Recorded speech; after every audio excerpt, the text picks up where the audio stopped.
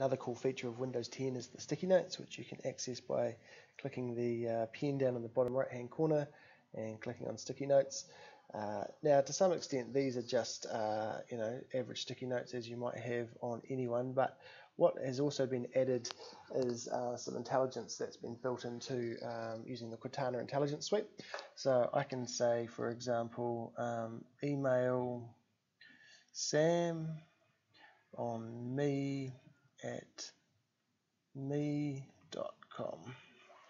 And what it should be able to do is goes, oh, it turns blue, recognizes that's an email address, and I can click on that and say, actually send me an email, and it's going to generate that on the fly for me, which is kind of handy if you were going to record an email address during a, a phone call conversation, for example.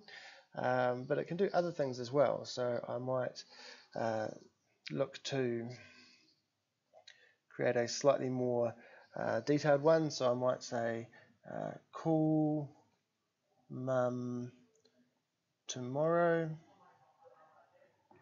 And I can put in her number here, 021 438 111.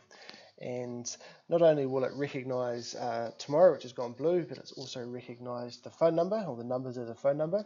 So again, if I select that, um, I can call the number directly, or if I actually select tomorrow, it's going to ask me if I want to add a reminder into Cortana. And you can see down the bottom left, uh, it's accurately said there's the phone number. We can set the reminder for tomorrow, which it's asked for, uh, and I can just go remind, and that will be stored away saying, yeah, okay, I'll remind you tomorrow to call mum on that particular phone number.